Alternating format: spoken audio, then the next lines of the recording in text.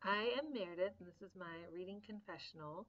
Um, one of the habits that I have when I'm reading is I always have a special place to read.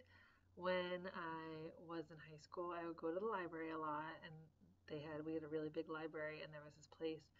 It was like a separate room called the Stacks, and it was just like five or six stories of just books, and it was kind of dark, and there was like old-fashioned desks at the end of every row, and so I'd always pick a desk to sit and read.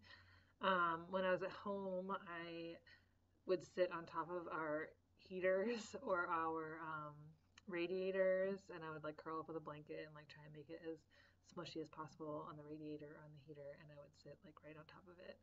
And now I think my favorite spot to read would be outside on the front porch. So I always had like a spot where I read when I want to just really sit down and like not be distracted.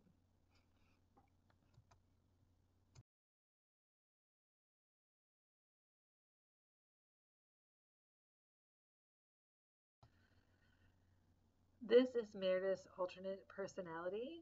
Um, the reader who maybe doesn't like love to read but knows that it's important.